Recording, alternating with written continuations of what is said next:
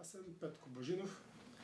Петко, ние с тебе сме приятели и ти преди известно време имаше проблеми с кръвното. Да, понеже имах преди години с доста силен стрес Да. и се получи кръвно. Ходих и при лекари и ти ми даде билкови хапчета против кръвно. При лекари колко време ходи?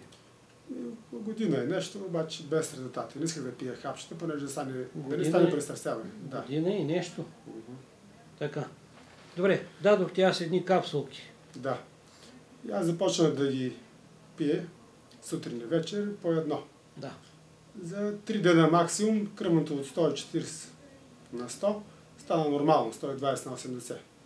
Аз имам апарат, си го меря. Да. Всяка вечер по 4. Преди е било 140 на 100. 140 на 100, даже понякога е 160. Не чувства главоболие, обаче кръвното си показваше апарата, че е високо. 160. И след това започнах да го пия, да ги пия много по-рядко, в седмицата по един път. И все пак се нормализира. И Сега В кръвното момента кръвното си е 120 на 80. 80. Това е Така много че съм много доволен от тези хапчета и ако искате други хора да, да опитат. Много ти благодаря, Няма Петко. пресъставане, няма нищо. Ще го пусна, тъй като те са билкови хапчета и нямат странични явления. Не, наистина не съм очаквал, че такъв ефект. Също сериозно. Ще има. Добре.